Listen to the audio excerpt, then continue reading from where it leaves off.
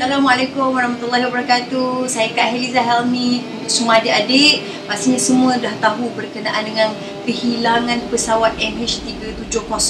Agak-agaknya apa yang Allah nak sampaikan kepada kita adik-adik? Kalau Kak Heliza tengok kan, MH370 ni sangat dekat sebenarnya Allah nak beritahu kita. Kadang-kadang mungkin kita terlupa untuk berdoa pada Allah.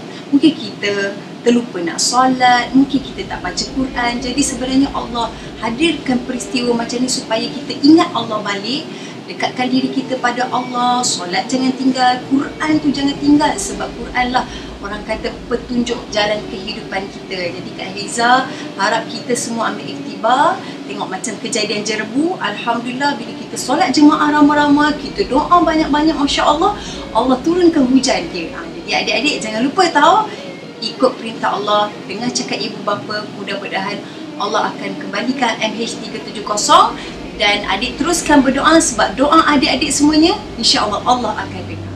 Take care ya. Assalamualaikum.